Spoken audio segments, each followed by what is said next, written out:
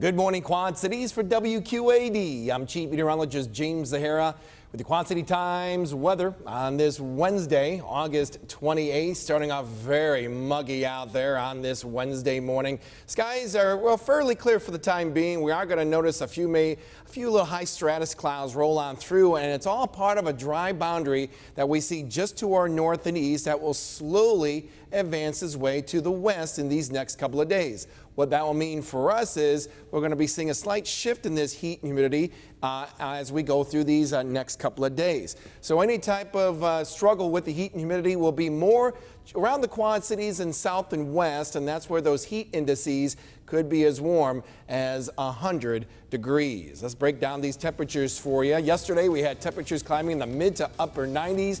We'll trim down a little bit of that heat today with afternoon highs expected around the lower 90s.